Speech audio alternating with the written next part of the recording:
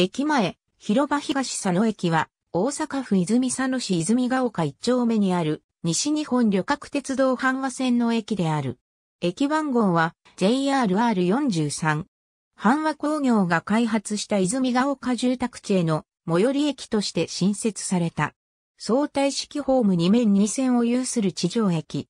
分岐器のない防線駅の構造であるが、踏切庁時間明動対策のために、駅前後の信号機が絶対信号機に変更されたため、停留所ではない。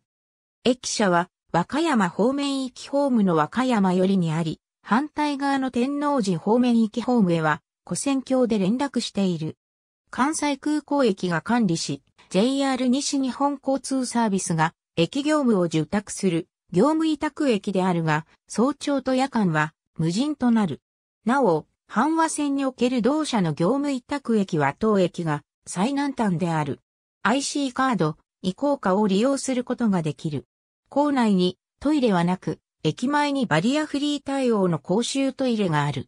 天王寺駅ひねの駅間の阪和線の駅の中では、最も利用者数が少ない駅である。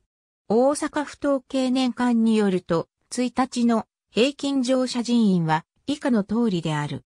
阪和工業によって大規模な宅地開発が行われ、泉ヶ丘住宅地が造成された。駅から少し歩くと有力な第二子や会社経営者の大きな屋敷や邸宅が立ち並ぶ高級住宅街である。ありがとうございます。